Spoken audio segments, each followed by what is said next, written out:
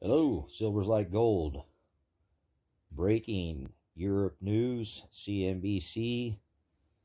Article states Russia threatens new nuclear deployments if Sweden and Finland join NATO. Russia says a nuclear free Baltic region would no longer be possible if Finland and Sweden become NATO members, alluding to additional nuclear deployments in Europe.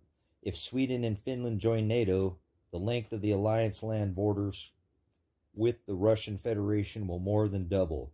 Naturally, those borders will have to be strengthened. The former president and deputy chairman of Russia's Security Council wrote in an official telegram channel Thursday. Russia will have to seriously strengthen the grouping of the land forces and air defense, deploy significant naval forces in the waters of the Gulf of Finland. In this case, it will no longer be possible to talk about any nuclear free status of the Baltic. The balance must be restored, he said. The comments come a uh, day after Finland and Sweden said their decision on whether to apply for NATO membership would come within a matter of weeks. The county's leader said their secretary assessments had dramatically changed following Russia's invasions of Ukraine in February.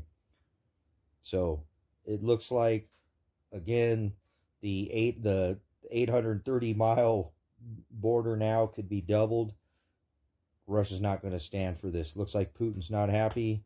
So wanted to bring that to you. Breaking news CNBC. Like, comment, and subscribe if you haven't already. Thanks for tuning in. Silver's like gold.